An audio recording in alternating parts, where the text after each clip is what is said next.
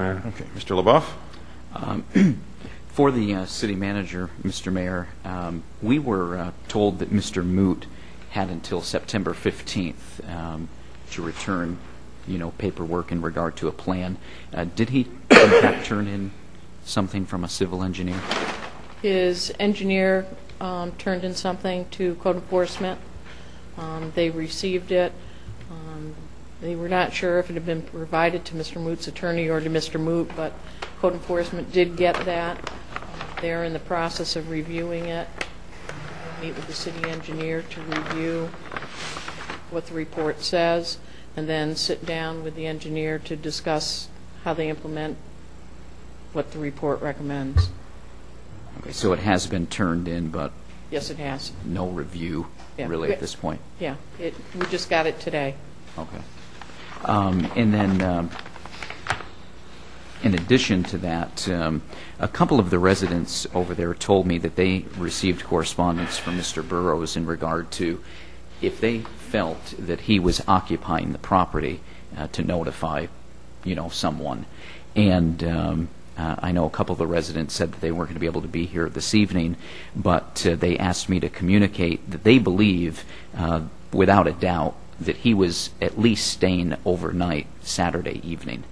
And their question is, and my question as well, is um, if we do know that he is staying on the property or in the premises, what, uh, you know, you know, what uh, do we have that we can avail ourselves to, and, and what is the process at that point?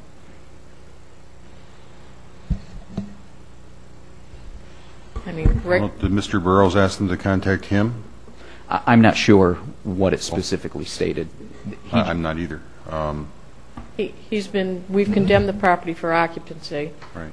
But I guess in just general terms, if a property is condemned for occupancy and someone is found occupying the property, Well, what all would we be? have right now is an administrative order that prohibits him from occupying it. We'd have to convert that into a judicial order if- if we believed he was violating the administrative order.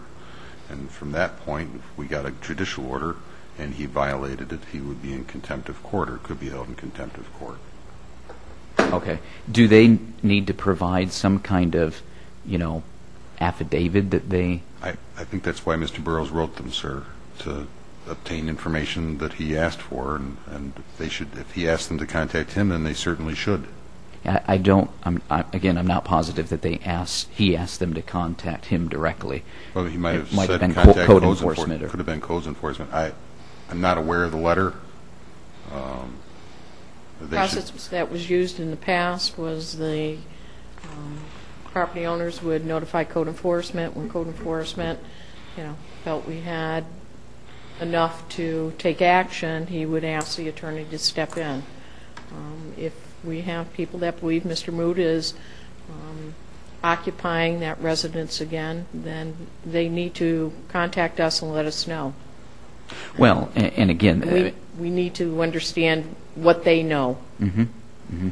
well, a- and what they're witnessing is that he's bringing trash into the residence. Uh, The truck that's in the driveway is filling up with trash. So this scenario, um, you know, is starting to replicate itself again.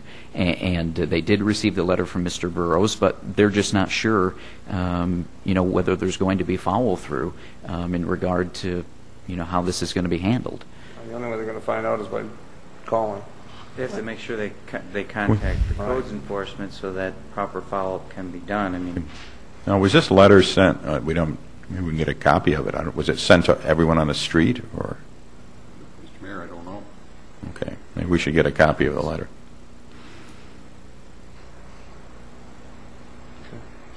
I, I, uh, I agree with the concerns on Mr. Moot, but, uh, you know, the issue of, uh, of driving came up again, when he was cited again, and then he went and reclaimed his vehicle, and the police have said that he brought a person from Adult Protective Services with him to reclaim it, so that person could ride with him and be the, because he only holds a learner's permit. And uh, so we got a, know, he's been cited twice now for uh, unlicensed operation. Um, The vehicle that was in his driveway, we got the truck which is licensed, the uh, car which is uninspected, but still registered. That's correct, right now. We're told as long as there's a blue tarp over it, that it's okay to have that there.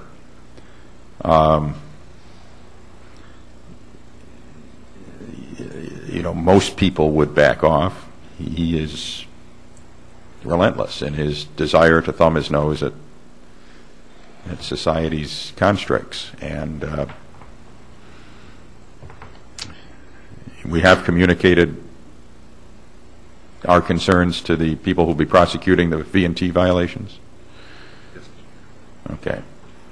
Um, Is there any other evidence that he's attempted to drive that anyone's been aware of since that Saturday night incident? And my understanding is, when he pulled out of the plaza, he was pulled over by the police and literally left his vehicle in the middle of the road, and then it was towed. Um, I, uh, You know, it's odd behavior at best. I am aware that he has registered another vehicle, and I made Mrs. Corvo aware of it. Um, No one knows at this point what kind of vehicle it is. Uh, The belief is it's a, you know, brand-new vehicle or a vehicle totally different than what uh, he had owned in the past. And, um, It's not a new Kia, I know that, but it's, uh, sorry about that. yeah, well, me too. But uh, y- the issue is uh, the neighborhood, you know, that there's been a lot of near misses just in his driveway.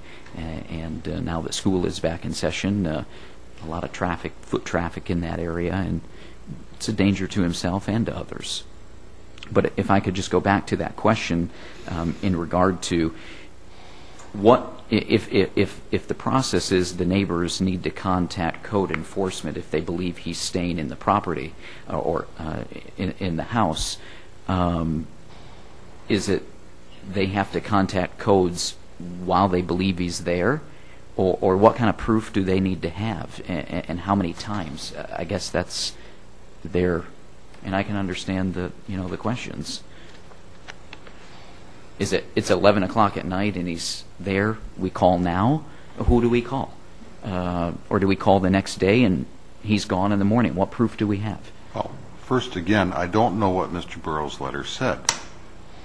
If the goal would be to obtain a court order to enforce the administrative order, do we need to know that at 11 o'clock at night? No. If we knew it at 11 o'clock at night, could he go in and be arrested for violating an administrative order? No.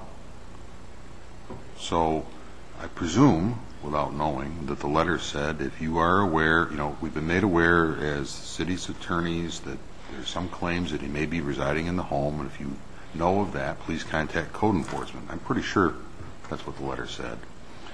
Um, And so they need to do that.